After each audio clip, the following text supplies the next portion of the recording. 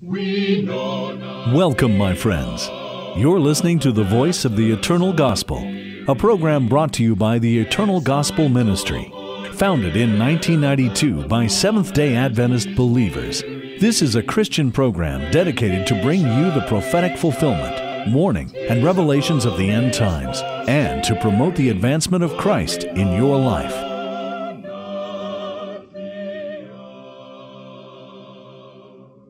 Ladies and gentlemen, welcome back to the program, The Voice of the Eternal Gospel. I'm Pastor Raphael Perez, and I have with me uh, my good brother Jose Rivera Good to be here, Pastor. and my other good brother Patrick Jones. Nice to be here with you. All right, good. Thank you for being here. Um, in the last program, we promised that we, we will be dealing uh, with uh, some controversial, I call it controversial Bible verses or mis, uh, Bible verses that are very Misunderstood. yeah. misunderstood by the people at large in reference to the true seven day Sabbath. We, we promised that, and by God's grace, that's what we're going to get into today. So there'll be no confusion after today, and I hope and pray that the whole world, everybody who's be watching, even if you know, uh, the Pope from Rome will be watching it, he can uh, also see the truth of the seven day Sabbath. But I'm going to ask you, my brother Rivera, lead us in prayer first. Okay. Dearest Father in heaven, Lord, we thank you every time for the privilege to study your word. We ask for your Holy Spirit to lead and guide us as we go into this topic concerning the Sabbath, the feast days, and Lord, just being prepared for this soon coming of Jesus Christ that you have given us your word in in plenty of Bible verses, Lord, to give us that hope. We thank you and we just ask these things in Jesus' name. Amen. Amen. Amen. Just as a brief review of the last program, we noticed throughout the Bible, all the New Testament, that the seven day Sabbath, uh, the fourth commandment, was given in, you know, was included in the tenth commandment as a sign of grace, as a sign of a creator and a redeemer to his people. That's right. Right? That's right. Okay, and we also mentioned that uh, no wonder then the enemy has been so upset with that particular commandments. Now, if I ask you, why not spending more time than in talking about, let's say, the fifth commandment? The fifth commandment got to do with the that we should honor our father and mother, right? Or the sixth commandment, thou shalt not kill. Uh, what would be the answer that we would give? Well, that's not the area where the controversy is. We could talk about the fourth commandment and we could talk about the seventh commandment.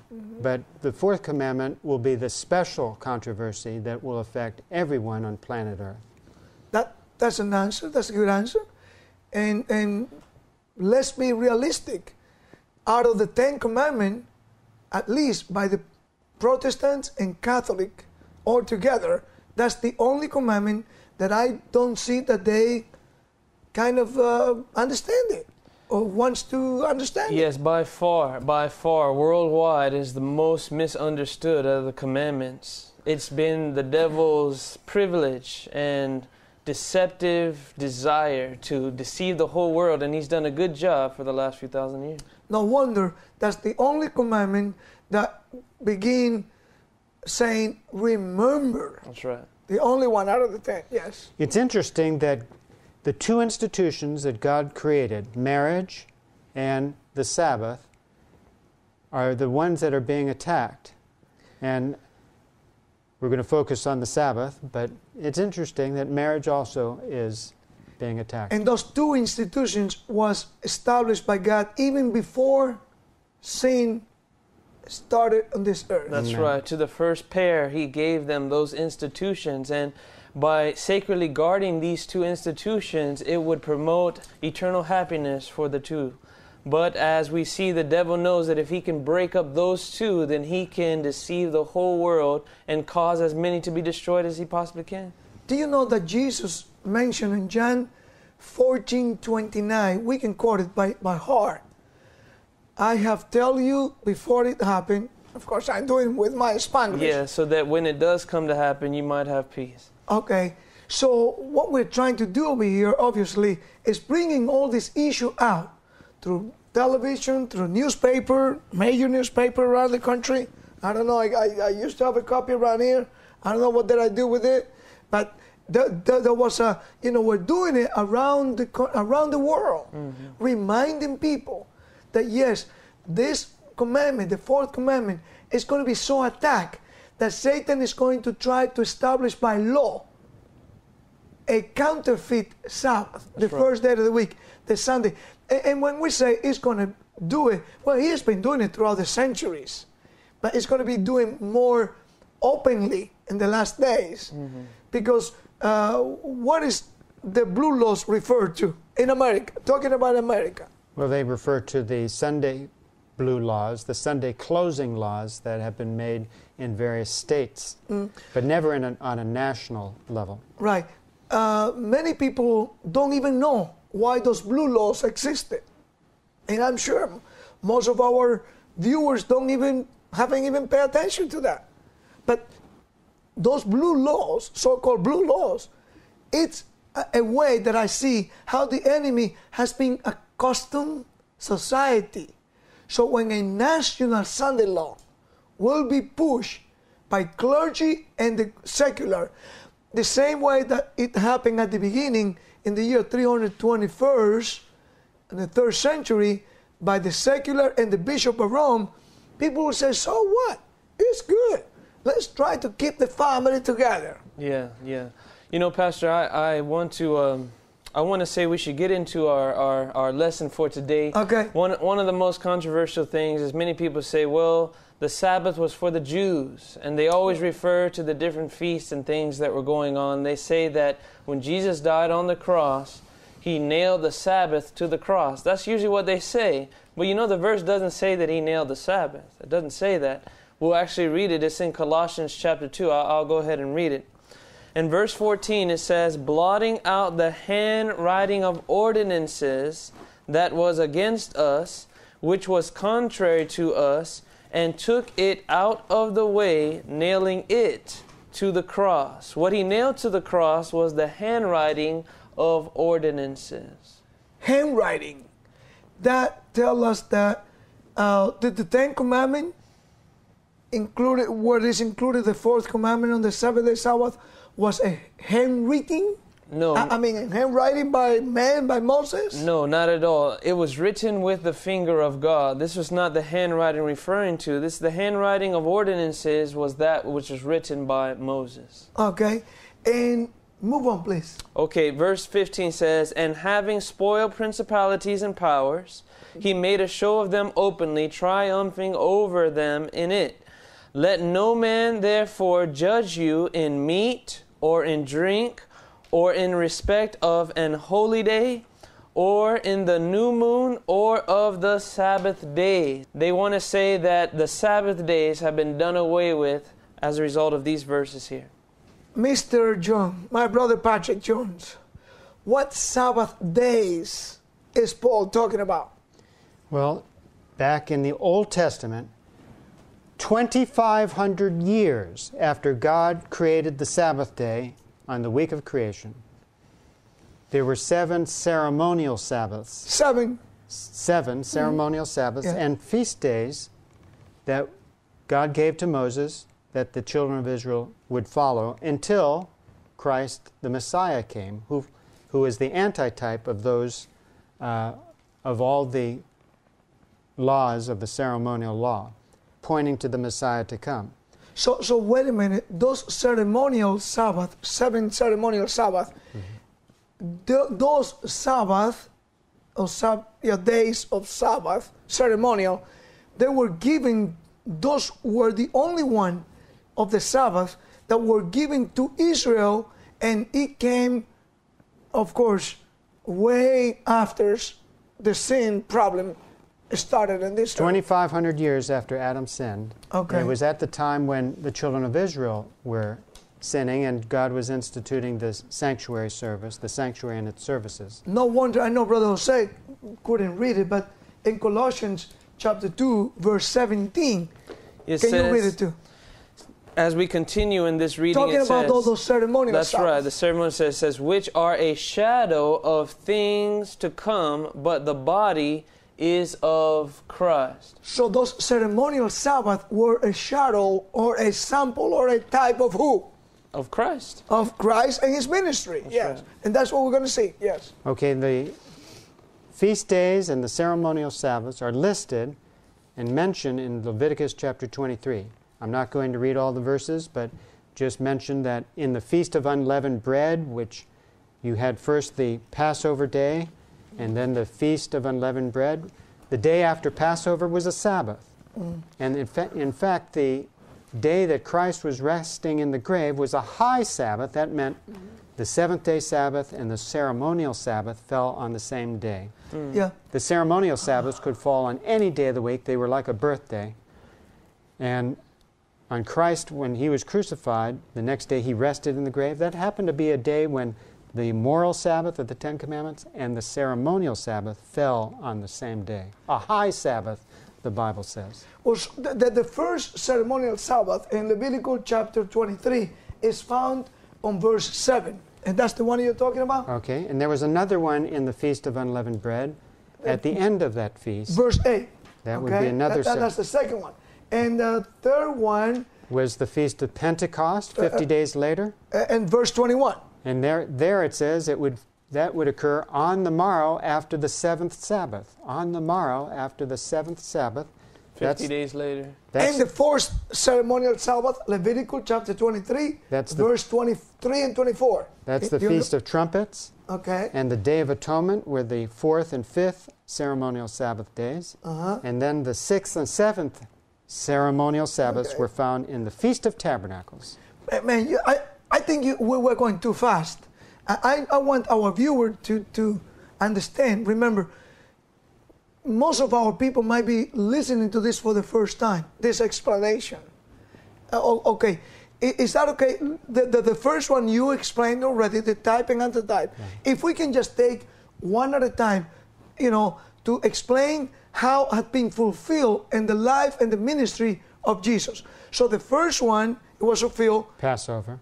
The Passover. That's why Jesus knew exactly what day he mm-hmm. had to be in Jerusalem to be the lamb. He was the Passover lamb Okay. on that day. Let, let me read that text there. Paul talks about this idea of the Passover. And he says in 1 Corinthians chapter 5 and verse 7, he says, Purge out therefore the old leaven, that ye may be a new lump, as ye are unleavened. For even Christ our Passover is sacrificed for us. When Christ was that final Passover lamb, he fulfilled the feast day of the Passover that was pointing towards it. Okay. Uh, we're going to continue with this because this is very important study and the type and anti-type. But we'll be right back.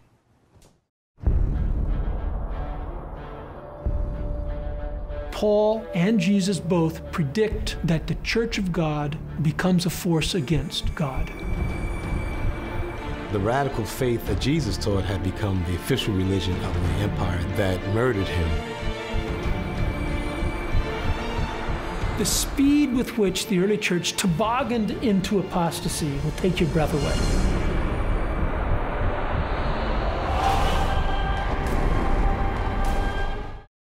Welcome back, my brother Patrick.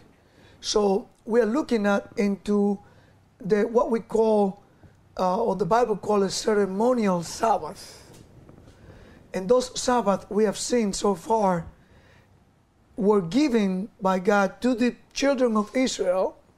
Okay, uh, and it was a shadow of the ministry of Christ, as Brother Rivera read in Colossians 2:17, 14 through 17, and uh, on the chapter 23 of Leviticus, starting with verse 15, and we don't want to read the whole thing, of course, but going up to verse 22, that's when we find another ceremonial Sabbath.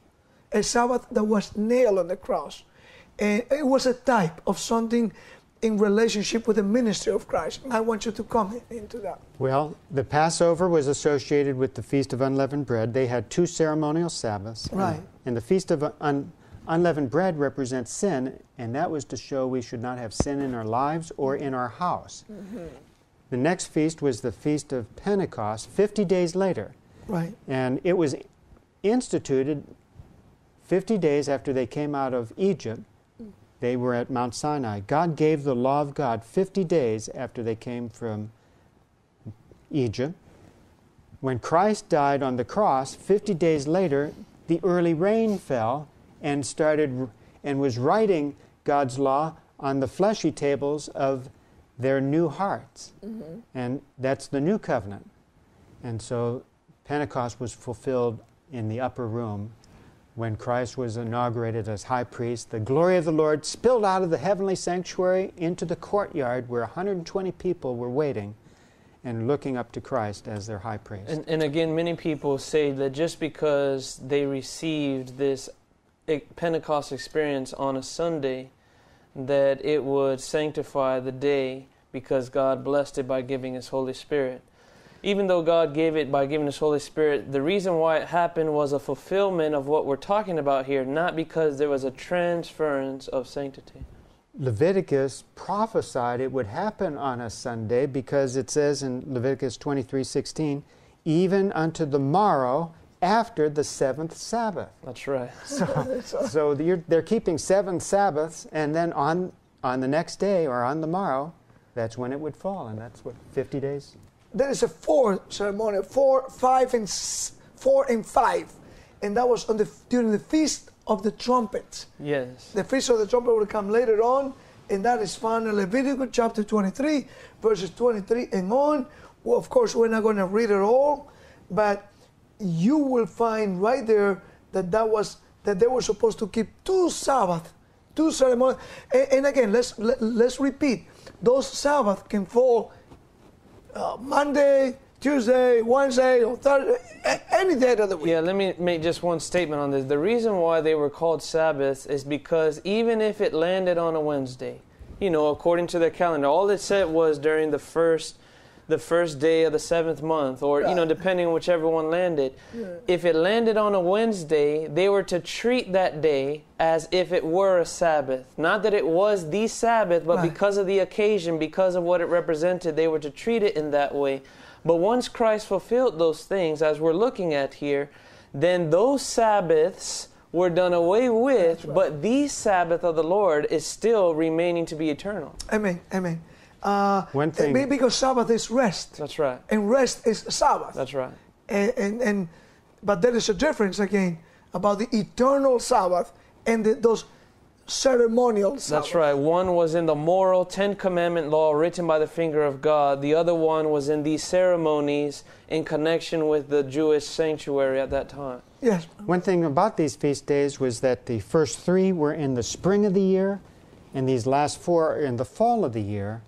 And this represents that the first ones were fulfilled in the beginning of the Christian era, the last at the end of the year would be toward the end of the Christian era. By the way, when the feast of the trumpets would take place, what was about to happen? What was getting closer at that time? Yes, 10 days, right about 10 days before the Day of Atonement, the trumpet would tell the people, begin to prepare because the Judgment- atonement is coming. judgment judgment was coming. The day of judgment was coming.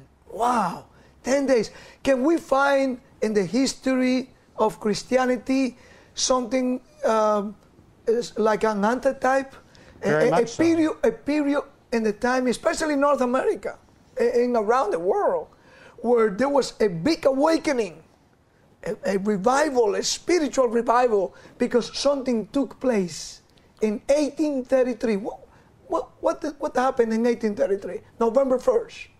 That was the last of Christ's signs for his second coming, the greatest meteor shower in the history of the world, the falling of the stars. The falling of the stars. And, and what, what, what happened? What history tells us of what happened uh, uh, starting in North America and went throughout the world. Well, there was a movement that began, and the movement was the study of the second coming of Christ.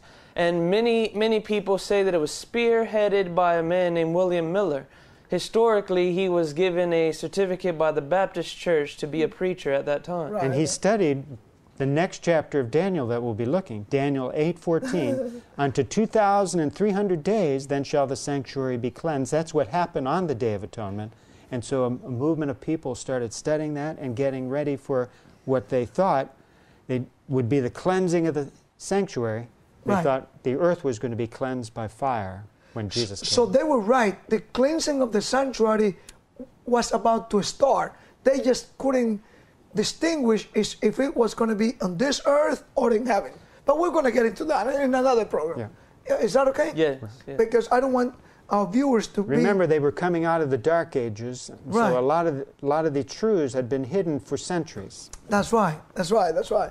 So we see we can find the fulfillment of those trumpets, like awakening time. That's right. There's some religious program uh, out there calling the. They talk about all this awakening. That's and right. yes, there is a there was an awakening. That's right. So all these feasts thus far, then, from number one all the way to number six, we have seen a fulfillment of, and the last one to be fulfilled that Number we six. have yet to see. Well, number six was the atonement. That was another. No, number five was the atonement. No, number six. Six and seven. Yeah, yeah. Five, four, and five. Yeah. It was on the trumpets, the first and the last day. Then the number six is on the day of the atonement, Yeah. which you find in verse 35, Leviticus chapter uh, 23, because it says that they, nobody should do any work that day.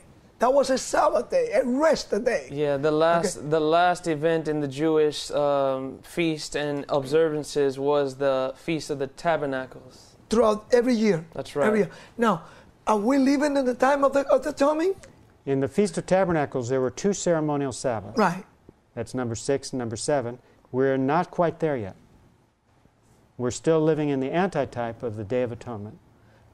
On, on the feast of the tabernacle, that is, an, the, the, that's where I have the seven, yeah. Six and seven. Six and seven? Yeah. Okay. We will see uh, oh, six and seven. On the first day, be a holy convocation. Okay, I see what you're saying. And on the seventh day, okay.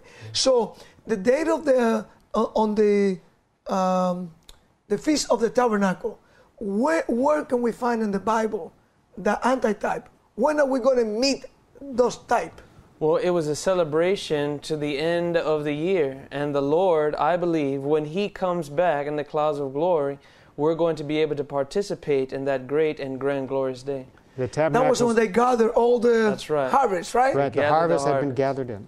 So what a great feast is awaiting for God's people then out there. Amen. Amen. Okay. I hope that we can all be a part of that. Praise God, and we hope our viewers too. Now there is another Bible verse I want to bring before we forget. It's in chapter 14 of the book of Romans, verses 1 through 5. Before you go there, Oh. uh, we're go- I, we need to connect these feast days with the verse in Colossians.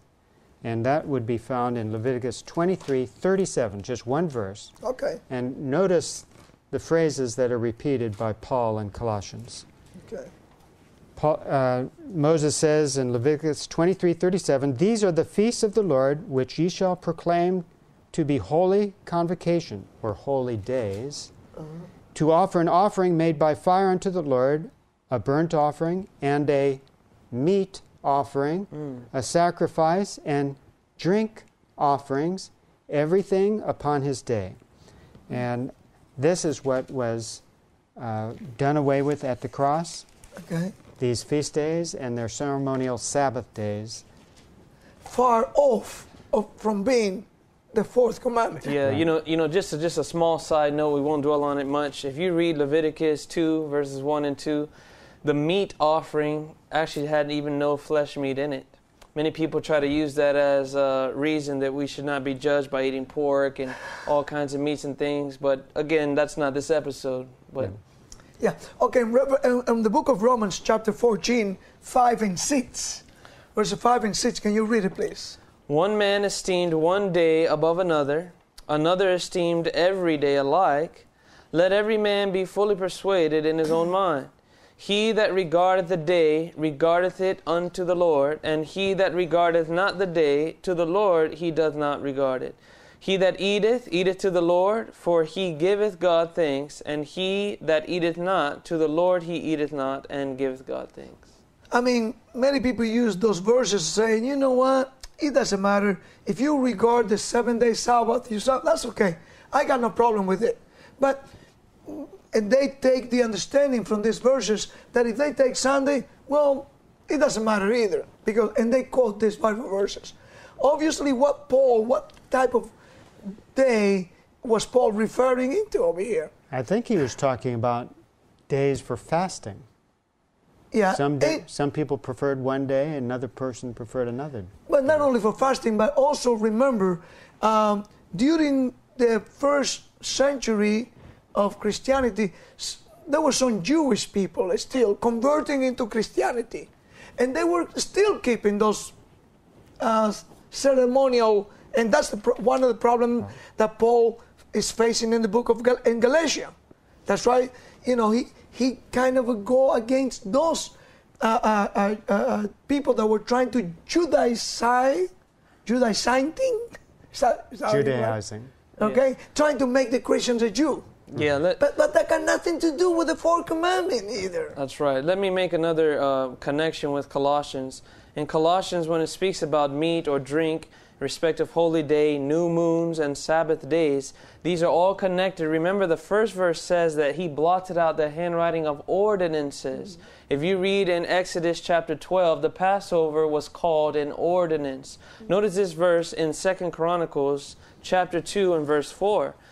It says, Behold, I build an house to the name of the Lord my God, to dedicate it to him, and to burn before him sweet incense, and for continual showbread, and for burnt offerings morning and evening, on the Sabbaths, and on the new moons, and on the solemn feast of the Lord our God. This is an ordinance forever to Israel. So we see that these feast days were the ordinances. The law of God was not blotted out, but the feast days and all therein was blotted out. including those ceremonial Sabbaths. Exactly. Seven of those. Which were called the feast days of the Lord. Do you want to? Do you, do you want to take ten seconds? No, that's good. Okay. All right. Um, we, we- we're gonna. We have to close, and before we close, I just want to remind you that it is God's desire to place His sign, His uh, seal upon your mind and upon my mind. It is His desire to sanctify thy life, to sanctify our life, because the Bible says without sanctification nobody will see His face. May God bless you all. Our Voice of the Eternal Gospel family thanks you for joining us. Generous contributors like you keep us broadcasting. Prayerfully consider supporting this ministry. Donations are tax deductible and can be sent to Voice of the Eternal Gospel, P.O. Box 15138, West Palm Beach, Florida 33416. Our phone number is 1 866 7th Day 2. That's 1 866 784 3292. And our web address is voiceoftheeternalgospel.com.